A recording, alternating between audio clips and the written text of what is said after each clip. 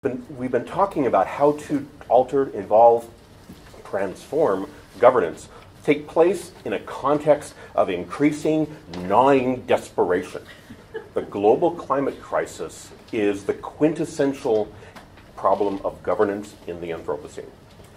And there are two particular ways in which the climate crisis, as we are, as we commonly think of it, ha- uh, offer us a real problem, a real challenge.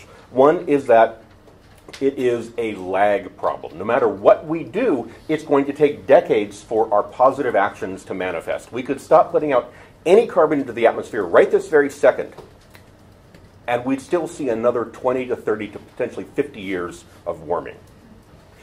Secondly, it is a, a problem where no one actor can do enough the United States could stop putting any carbon into the atmosphere, and that would not be enough to stop, to stop the climate, uh, climate crisis. China could stop putting any carbon in the atmosphere. It's not enough. It's something where all of us have to work together, something we're notoriously not very good at.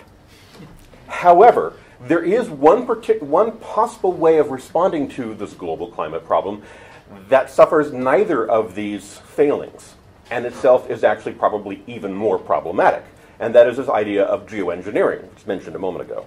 Uh, this is the idea of um, taking global scale action to manipulate the global climate. And you do that, and there are a number of different proposals about how to do that, and they all have the pro- uh, a number of problems in common. Um, there's a question, above and beyond, question of control. Who decides what to do? There's a problem of liability. If a problem erupts, if there's a crisis or a um, a storm or disaster subsequent to the use of geoengineering, who gets blamed? Uh, geoengineering, the, the, most common uh, argument for what we can do is to put uh, sulfate particles into the stratosphere. You know, pumping crap into the atmosphere in order to block out a, a small amount of incoming sunlight, just like a volcano does. And that we know that works It can work very quickly. And it does nothing about carbon, does nothing about ocean acidification, but it cuts off the potential for truly catastrophic results around temperature. It's a tourniquet. And just like a tourniquet, you don't use that unless you absolutely have to, unless you're desperate and have, you know, a, you have, you're desperate people willing to take desperate action. The problem is that any one actor can do this.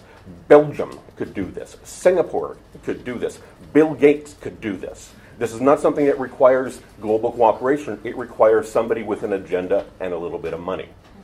Uh, you could put you could put the uh, uh, stratospheric, stratospheric sulfate injection. You get that going for less than the cost of a space shuttle launch. Okay, so there are there are models that, that demonstrate that one, this would probably work. This would probably hold temperatures down temporarily as long as we're cutting carbon at the same time, because if we don't cut carbon, then we have to actually keep putting more and more and more stuff into the stratosphere. But there's also issues, this changes global climate dynamics. It's very likely that if we put uh, sulfates into the stratosphere to hold down temperatures, we would alter monsoonal rainfall patterns in South Asia. It would be raining at times when it normally wouldn't, drought at times when normally would be rain. This is not a good thing. Um, it would alter um, issues around agriculture. It would change what we can do for uh, our disease response. All of these things get changed by this choice to take desperate action. And yet, if we don't deal with carbon fast enough, those desperate choices will all be all that's left. So, how do we govern this? How do we control this? How do we decide what to do? Do we leave that up to the US? Do we leave that up to China? Do we leave that to the UN? I had the opportunity to participate in a global war game run by a three letter agency a couple years ago.